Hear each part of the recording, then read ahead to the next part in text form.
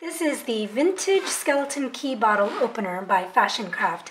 It comes nicely packaged with a, nice little ribbon and a little note for you on there. And you open it up. As you can see, it's a bottle opener.